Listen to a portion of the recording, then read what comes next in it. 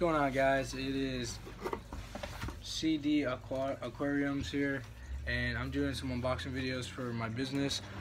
I already unboxed something but I was really interrupted by a phone call so um, now I gotta restart. Anyway, um, the first item I did unbox was the air pump. This has four knobs on it so it should, you know, hook up to the tube and I have ordered and it does so that's good. Um, it has two settings. It has a high setting if I were to roll it this way and a low setting if the more I bring it down here. So high low. So most likely I'll be running it on high because it's going to be filtering with my sponge filters I've ordered. It's going to be filtering four tanks at once. So, yeah. So I ordered four of these sponge filters. Uh, I see a lot of uh, fish fish hobbyists use them, so I figured they have to be pretty good. I know they're good to keep the water clarity, you know, high so that your water is always consistently clear.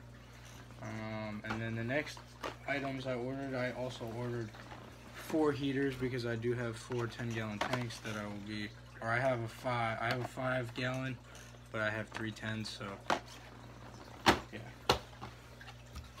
Anyway, uh, the next thing is, on, not, not these. I did order two of these things from Chewy.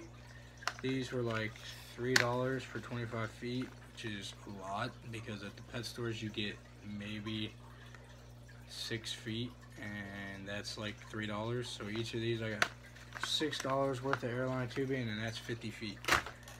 So the next thing I have I have two Fluval uh, bio media and that's right here. It's two pounds worth so and these were like together I think it was like eight dollars. And these will be going in this giant filter it's the Sun Sun canister filter. So it comes with, you know, the Fluval, some whatever bag, I forget the bags, and then it has the foam, and then you can also put bio balls in here. Uh, as you can see, this is what your filtration will be going through. I'd probably put the uh, the charcoal bag up here, and then the sponge with some Fluval the sponge with some Fluval, and then the bottom would probably just be all bio balls. Um, and then, yeah, so this, this is going to be for my turtle pond that's coming very, very soon. Uh, probably within the next two weeks. So, yeah, without further ado, guys, this is CD Aquariums, and peace. I'm out of here.